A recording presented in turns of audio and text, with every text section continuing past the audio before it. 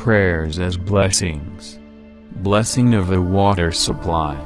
O Lord, Almighty God, who hast given us an ample supply of water, let off by pipes from this source, grant that, by thy assistance and blessing and our cooperation, every diabolical attack and confusion may be kept off and that this water supply may always be pure and uncontaminated. Through Christ our Lord.